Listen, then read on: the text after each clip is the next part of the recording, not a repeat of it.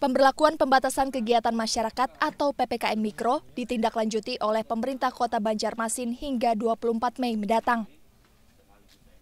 Dana miliaran rupiah dialokasikan pemerintah kota Banjarmasin untuk menindaklanjuti instruksi Menteri Dalam Negeri terkait penanganan COVID-19 ini.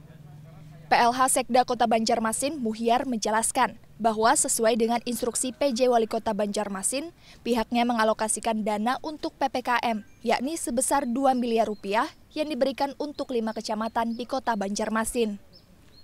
Jadi kan menindaklanjuti apa yang disampaikan oleh Pak Wali Kota bahwa biaya yang untuk kegiatan PPM, PPKM Mikro itu ada di eh, kecamatan masing-masing. Hmm gunanya adalah untuk mereka operasional di kecamatan dan itu dikoordinir oleh kecamatan masing-masing.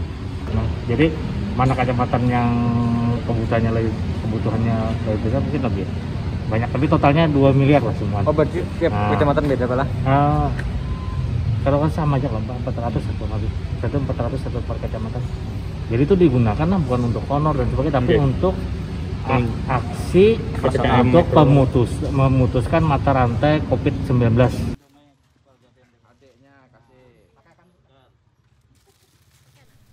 Dengan sistem penerapan yang mengandalkan posko yang ada di kelurahan hingga ke tingkat RT, nantinya setiap kecamatan akan mendapat kucuran dana sebesar 400 juta rupiah. Muhammad Nafis, Kompas TV, Banjarmasin.